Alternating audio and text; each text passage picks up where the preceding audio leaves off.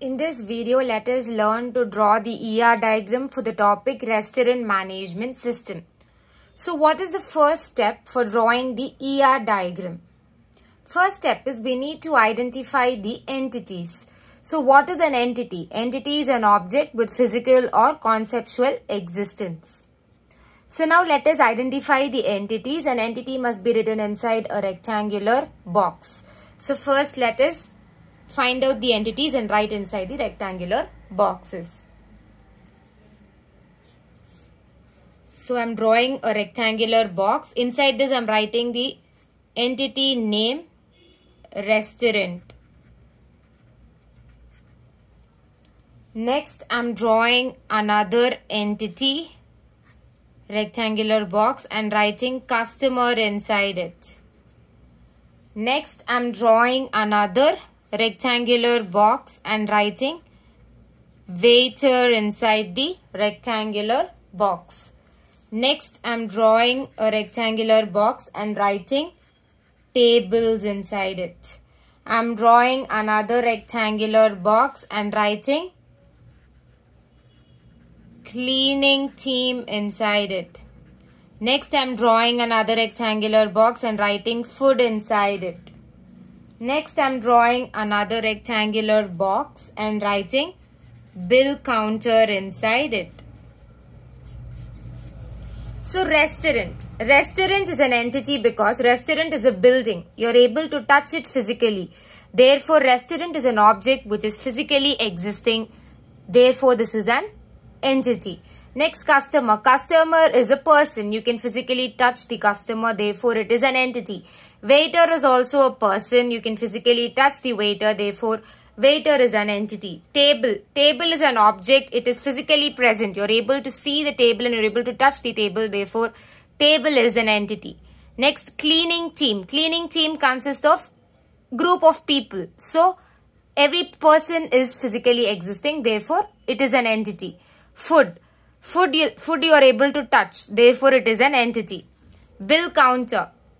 Bill counter is an entity because it is a building where a person will be taking care of the payment. So, therefore, the entities are restaurant, customer, waiter, tables, cleaning team, food and bill counter. This is the first step. Now, let us look into the second step.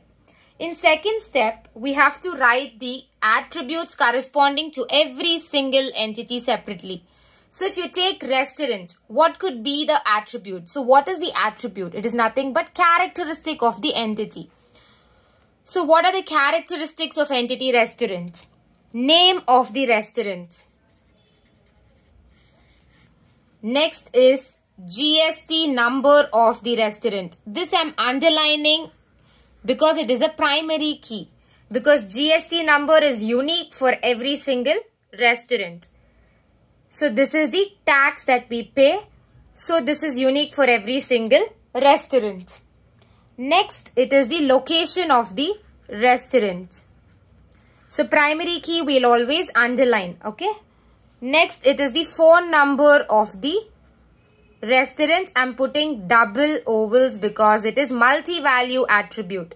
Restaurants can provide more than one phone number too. So now if two numbers are there, one is the landline number and one is the personal number of the restaurant manager maybe. So those two numbers will be multi-value because more than one value is there. Therefore, it is multi-value. That is the reason why we are putting double ovals surrounded by this phone number attribute. So these are the attributes of restaurant. Next, let us look into the attributes of customer. Name of the customer. This can be further divided as first name, middle name and last name.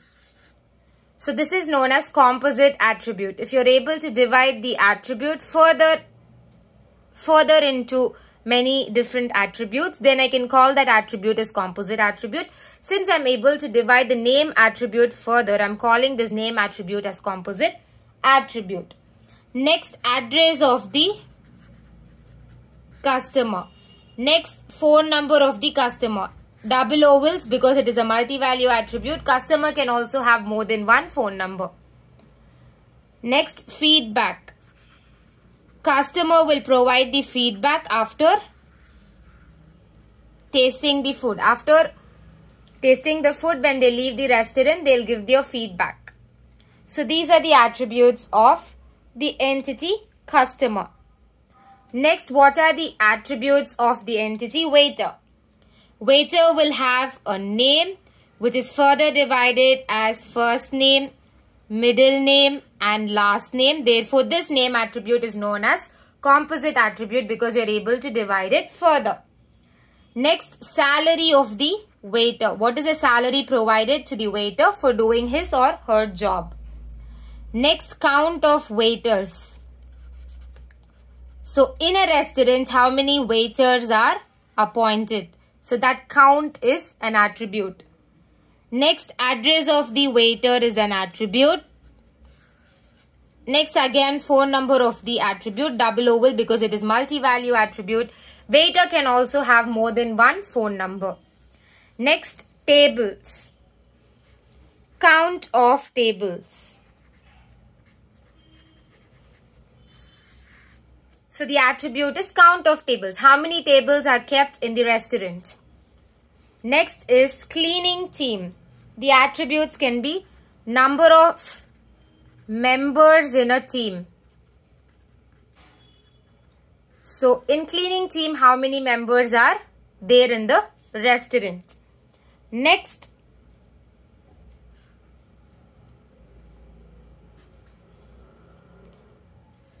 team members details, their personal details. It is important. After checking their personal details only, they can appoint the member in the cleaning team or in the restaurant for any job. Next is the shift of the members in the cleaning team. Is it morning shift or is it evening shift? So morning and evening shift. So these are the two shifts in the cleaning team. Next comes the food. So when food comes in place, total count of food that the restaurant provides. What is the total count it provides? Next, it is the name of each food provided in the restaurant. Next, whether the food provided is veg or non-veg. So, these are the things coming under the food entity. You can also add cuisine because Italian or Indian or Chinese. So which cuisine you want. That comes under the food as an attribute. So these are all the attributes of the entity food. Next you can also add in another attribute, sorry another entity which is chef.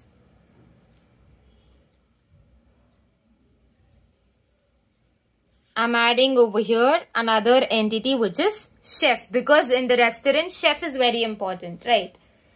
So name of the chef. Then speciality of the chef. So in which food, in which preparation of food this particular chef is specialized in.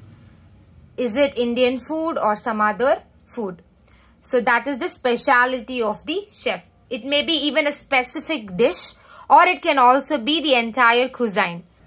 So that will be the speciality of the chef. What is the next attribute? Total number of chefs present in the restaurant. So these are all the attributes of the entity chef. Next attributes of the bill counter entity. Whether you're going to pay through cash or GPay or PhonePe or through card. So these are all the attributes of the entity bill counter. So this is the second step. After completing this step, you have to do the last step which is the relationship you have to draw. Okay. The third step is relationship. So you need to draw lines and draw the diamond box and connect two entities. That is known as relationship. So now the first thing is customer draw like this a diamond box. So customer goes to restaurant. This will be the first one. Okay. Customer goes to the restaurant. Second one. Waiter serves the food to the customer. So this is your second relationship. Next relationship is customer orders. Write it inside a diamond box. Orders the food. So this is your third relationship. Customer orders the food. Next relationship is chef cooks the food. So draw a diamond box, write cooks and connect it with food. Chef cooks the food. Next it is restaurant has tables. Next, cleaning team cleans the table. Next, cleaning team cleans the restaurant. Next, customer pays in the bill counter. So, these are all the relationships. So it is like this. Customer goes to the restaurant. Waiter serves the food to the customer. Customer orders the food. Chef cooks the food. Cleaning team cleans the table. Cleaning team cleans the restaurant. Restaurant has tables. Then finally customer pays the bill in the pays the money in the bill counter.